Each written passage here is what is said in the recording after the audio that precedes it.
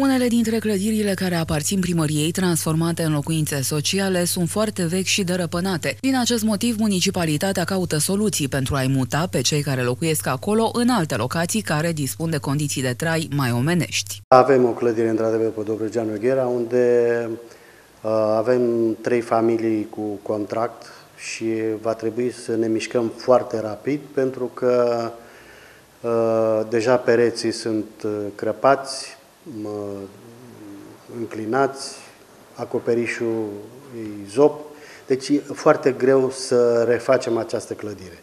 Trei familii care au contract cu primăria și locuiesc într-o casă socială de pe strada Alexandru Marghiloman vor trebui să se mute din clădirea insalubră. Ele vor primi apartamente compartimentate în trei containere dotate cu toate utilitățile necesare unei locuințe moderne.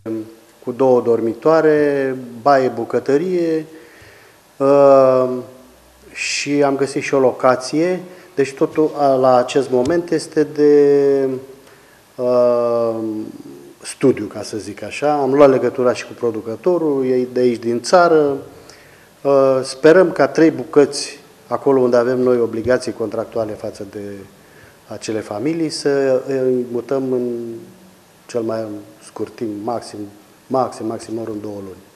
Acolo avem posibilități de a le branșa la utilități, uh, vor avea condiții omenești. Cele trei containere compartimentate au instalațiile electrice, sanitare și de încălzire deja montate. Vor fi amplasate pe o platformă de beton în zona blocurilor de nefamiliști ale firaturii din intrarea bazalt și vor fi racordate la energie electrică, apă, canalizare și căldură. Costul celor trei apartamente sociale se ridică la aproximativ un miliard de lei vechi.